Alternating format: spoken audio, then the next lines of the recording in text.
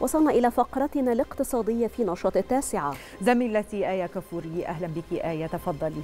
أهلا بك نهى أهلا بك ريهام. ولا نتحول إلى جولتنا الاقتصادية محليا وعالميا.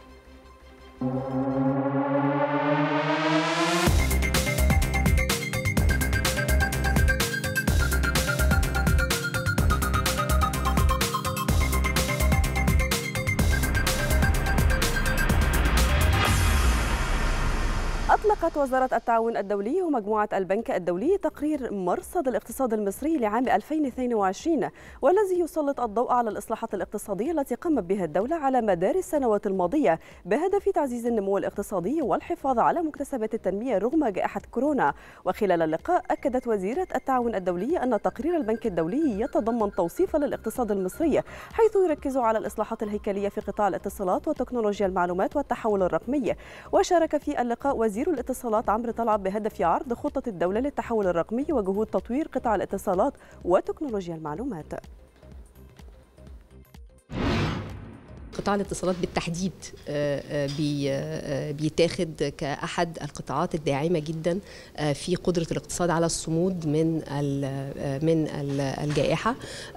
وده برضو دليل على إنه وده يمكن كان مرصود في التقرير إن الإصلاحات المالية والنقدية اللي خدتها الدولة المصرية وأيضا الدعوم اللي حصلت للعمالة في بداية الأزمة دي كلها كانت محفزات مهمة جدا ساندت الاقتصاد وساعدت على النمو المتميز لمصر في الجائحة ميزانية وزارة الاتصالات وتكنولوجيا المعلومات في التدريب تضاعفت 22 مرة في خلال ثلاث سنوات فقط وعدد المتدربين المستهدف هذا العام هو 50 ضعف العدد الذي كان مستهدفا قبل ثلاثة أعوام لا أكثر. هذه الأرقام تدل على تركيز الدولة المصرية على الاستثمار في شبابها وتأهيلهم للمنافسة في سوق العمل بفعالية واقتدار. دعا وزير البترول والثروة المعدنية طارق الملا القطاع الخاص لزيادة مشاركته في الفرص الاستثمارية التي توفرها صناعة البتروكيماويات وما تحققه من قيمة مضافة حيث شهدت صناعة البتروكيماويات والأسمدة تطورا ملحوظا خلال الفترة الماضية مما انعكس إيجابا على ارتفاع صادراتها خلال عام 2021 إلى نحو 6 مليارات و700 مليون دولار بزيادة نسبتها 45% عن العام السابق بما جعلها من أهم عوامل الطفرة التي حققها إجمالي صادرات مصر خلال العام. جاء ذلك خلال رئاسة وزير البترول أعمال الجمعية العامة لاعتماد الموازنة التخطيطية للشركة المصرية القابضة للبتروكيماويات عن العام المالي 2022-2023 أكدت وزيرة التجارة والصناعة نيفين جمع أن المرحلة الحالية تشهد زخما اقتصاديا غير مسبوق بين القاهرة وموسكو يرتكز على الزيادة المطردة في معدلات التبادل التجاري سنويا ومفاوضات اتفاق التجارة الحرة بين مصر ودول الاتحاد الأوراسي بالإضافة إلى مشروع إنشاء المنطقة الصناعية الروسية في مصر. جاء ذلك خلال استقبال الوزير للسفير الروسي بالقاهرة, بالقاهرة جورجي بورسينكو السفير الروسي بالقاهرة جورجي بوريسينكو وقالت وجاء ذلك خلال وقالت الوزيرة أن وفد حكومي مصري سيقوم بزيارة لروسيا الشهر الجاري للتحضير للمشاركة المصرية بمؤتمر سان بطرسبرغ والذي سيعقد خلال شهر يونيو المقبل. ومن جانبه أكد السفير الروسي بالقاهرة أن الجانب الروسي يتطلع لتعزيز أطر التعاون المشترك مع مصر خاصة في ظل الاهتمام الكبير الذي توليه القيادة السياسية في البلدين. للمضي قدما في تحقيق نقلة نوعية في العلاقات الاقتصادية المشتركة. سجلت قناة السويس أرقاما قياسية خلال شهر يناير الماضي من حيث أعداد السفن والحمولات ليصبح الأعلى مقارنة بمعدلات الأداء المحققة خلال شهور يناير المتعاقبة على مدار تاريخ القناة.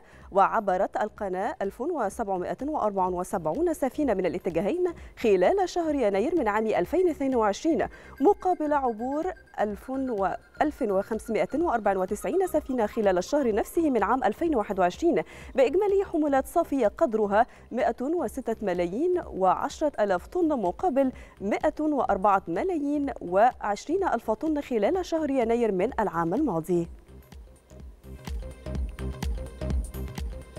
أنهت البورصة المصرية التعاملات على تراجع جماعي للمؤشرات الجلسة الثانية على التوالي بضغوط مبيعات من المتعاملين الأجانب وسط أحجام تداول منخفضة. وتراجع رأس المال السوقي 666 مليون جنيه ليغلق عند مستوى 747 مليار و798 مليون جنيه. أما على صعيد المؤشرات فتراجع مؤشر EGX 30 اليوم بنسبة 18 من المئة في المئة وأغلق عند 11527 نقطة. أيضا تراجع مؤشر الشركات المتوسطة والصغيرة EGX 70 بنسبة 38 من المئة في المئة وأغلق عند 2147 نقطة. امتدت أيضا الانخفاضات ل EGX 100 الأوسع نطاقا وانخفض بنسبة 26 من المئة في المئة وأغلق عند 3176 نقطة. ننتقل إلى أسواق العملات حيث تباينت أسعار العملات أمام الجنيه المصري. ليسجل الدولار الأمريكي سعر الشراء وصل اليوم إلى 15 جنيها 66 قرشا بالنسبة لسعر البيع. 15 جنيها و75 قرشا نصل اليورو 17 جنيها 88 قرشا بالنسبة لسعر الشراء وسعر البيع 18 جنيها. الجنيه الاسترليني 21 جنيها 20 قرش بالنسبة لسعر الشراء وسعر البيع 21 جنيها 35 قرشا. ونبدأ بالعملات العربية بالنسبة للدرهم. الإماراتي 4 جنيهات و26 قرشا وسعر البيع 4 جنيهات 29 قرشا وأخيرا الريال السعودي 4 جنيهات 17 قرشا بالنسبة لسعر الشراء وسعر البيع 4 جنيهات و20 قرشا. إلى منطقة الخليج حيث تباينت أسواق المال بالمنطقة في حين سجل مؤشر دبي الرئيسي أفضل أداء على مدى عشر جلسات. وأغلق مؤشر دبي على ارتفاع بنسبة 77 من المئة في المئة كما ارتفع مؤشر أبو ظبي بنسبة 5 من المئة في المئة محققا مكاسب لثالث جلسة على التوالي. كما ارتفع المؤشر الرئيسي لبورصة الكويت بنسبة 5 من 10 في المئة في المقابل تراجع المؤشر الرئيسي السعودي 2 من 10 بالمئة.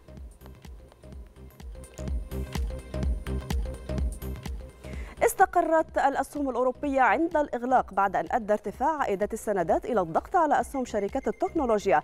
وأغلق المؤشر ستوكس 600 القياسي دون تغير يذكر. وكانت أسهم التكنولوجيا من بين أضعف الأسهم أداء إذ انخفضت بنسبة 9 من 10 بالمئة كما هبطت أسهم شركات النفط والغاز بنسبة 1.8 انخفض المؤشران ستاندرد اند بورز وناسداك في بورصة وول ستريت خلال تعاملات في ظل الترقب قبيل صدور بيانات التضخم هذا الأسبوع والتي قد تعطي مؤشرات بشأن توقيت رفع الفائدة الأمريكية. وارتفع المؤشر داو جونز الصناعي بنسبة 20 من المئة في المئة في المقابل. تراجع ستاندرد اند بورز 500 بمقدار 83 من المئة نقطة أو 9 من المئة في المئة. كما خسر المؤشر ناسداك المجمع 31 و4 وعشرين من المئة نقطة أو 22 من المئة في المئة. اتسع العجز التجاري في الولايات المتحدة في ديسمبر مع ارتفاع الواردات ليسجل في 2021 بأكمله أكبر مستوى على الإطلاق. وأعلنت وزارة التجارة الأمريكية أن العجز التجاري ارتفع 1.8% ليصل إلى 80 مليار و700 مليون دولار في ديسمبر وقفز العجز 27% في 2021 بأكمله إلى 859 مليار و100 مليون دولار. وذلك أعلى مستوى مسجل على الإطلاق. وجاء مقارنة مع عجز بلغ 676 مليار و700 مليون دولار في 2020